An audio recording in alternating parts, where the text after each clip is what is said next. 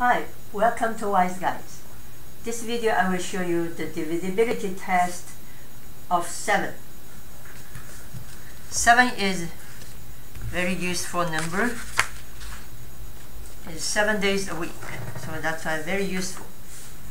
Okay, for small number, for example, two-digit number, we can use multiplication timetable to test it.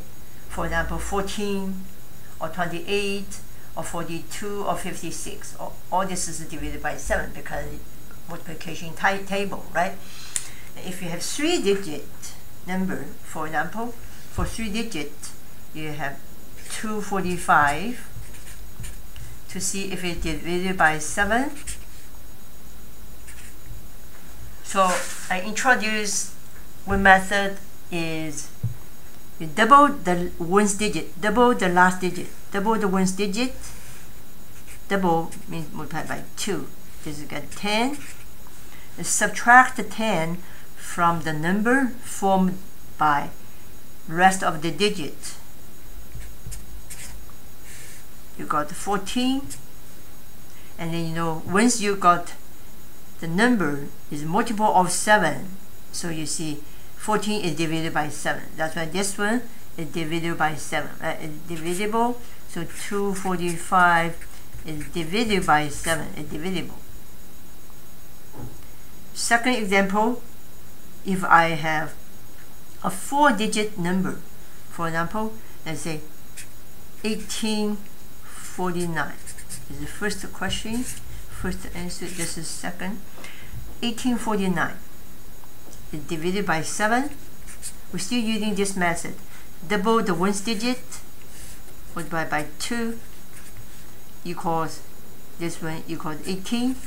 And subtract 18 from the the number formed by rest of digit minus 18 we got 6 5 1 and this is 6 yeah 6, 166. They keep this process and uh, double the last digit, double the ones digit, you got the 12, and subtract 12 from the number formed by the rest of digit, 12. You got the 4. Obviously, this number is not divided by 4, right? Or uh, divided by 7. So we can use calculator to prove it. So this one is 1849. So you have 1849 divided by 7. See, this one, you got a decimal, right? Decimal. So it's not divided by 7. So another example, see if it 2436 to see if it divides by 7. It's not. So double the last digit I multiply by 2, 12. And subtract from the number formed by rest of digit, this is 231. And double the last digit, equal 2, subtract the, the number formed by last digit, uh, the rest of digit, this is 21. See, 21 is divided by 7. Once you got the number is multiple of 7, you can stop, right? So this one is okay, this one is divisible. Okay, this is the 3 digit or 4 digit. If you have more than 4 digit or 5 digit, so that situation, you still can use this way and multiply by 2 for one digit and subtract this result by the number formed by rest of digit, but it takes many steps. So let's say if I have uh, six digit, so if you have six digit number, say this number is 349,335. When you have six digit, I introduce you another method. This method is use the number formed by last three digit 335 subtract from the number formed by rest of digit. So you this number formed by last three digit subtract from the rest of digit rest of digit from the other number 349 minus 335 you got the 4 you got the 14 once you got the 14 this is divided by 7 right? This is divided by 7 so divided by 7 this one. So this number is divided by 7 see this is another method. If you have 6 digit even you have 5 digits still working. And this is a very easy way to do. See again you use the last three digits form a number subtracted from the rest of the digit. Maybe the first three digits is small so which one is, bigger is subtract. Actually find the difference from two number. These two number one number formed by last three digits the other number formed by the rest of digit. So and the other question I can show you for example have another uh, number for six digit three digit. So if I have this number 625 625 those numbers 625 625 because from this row we subtract the last three digits to form a number by the other one. So this situation 625 subtract 625 you got the zero as long as you got the zero or you got the multiple of 7 it works. So this is divisible by 7 this is divisible by 7 divided by 7 we can use calculator to prove it. 625 625 625 625 divided by 7 equals see? You got the whole number whole number right? And so let's say from this pattern you see okay any number any digit as long as the last three digit same with first three digit correspondingly. For example you have let's say any number let's say 801 801 right? This number also divided by 7 because 801 minus 801 equals 0, right?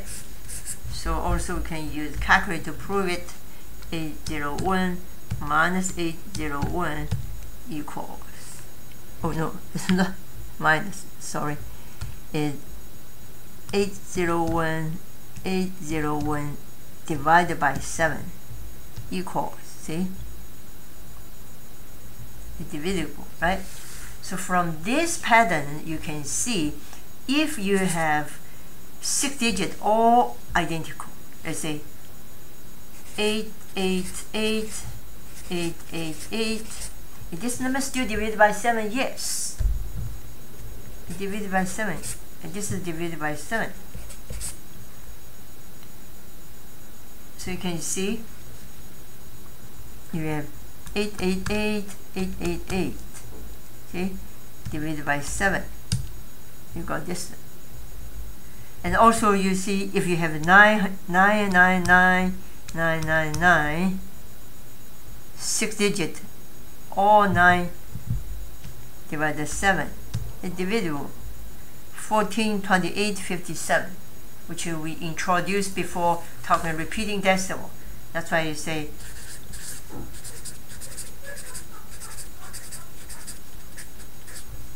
equal 14, 28, 57. Because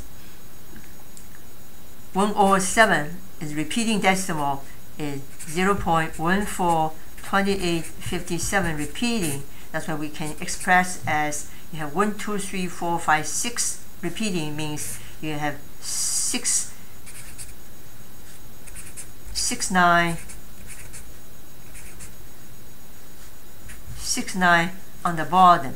The top is 142857. And this one is convert convert this one to simplify you got the this.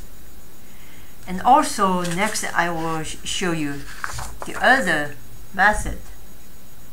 This method is the combination of first method, second method, and then the other is, the common sense method. So for example, we have this question. For example, to see 6210379. This is a 1, 2, 3, 4, 5, 6, 7. Seven digit number. If you only use the first method, double the last digit, subtract from the number formed by rest of digit, it takes time, it takes time. It's very slow, right? And if you, even you use find the difference with the three digit, last three digit, and from the number formed by rest of digit, still takes time. The one thing I think we need to think about the multiple 7. If the number, this is uh, divided by 7 means it's multiple of 7.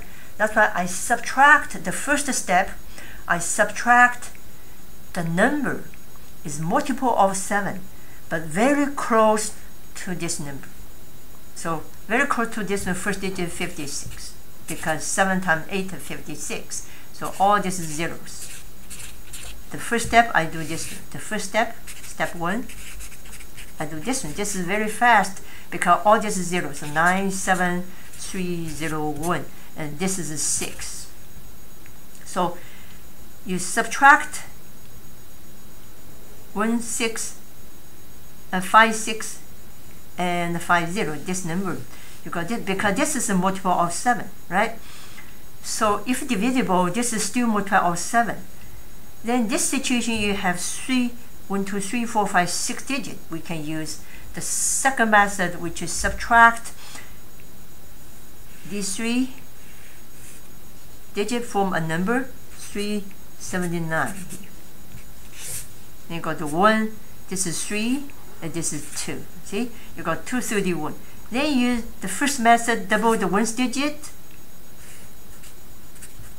2 subtract 2 you got 21 and this is 21 is multiple of 7 we know it divided by 7 that's why from this one you can see we we can use the combination method. All this is working. It's not saying we have to stick to one method, right?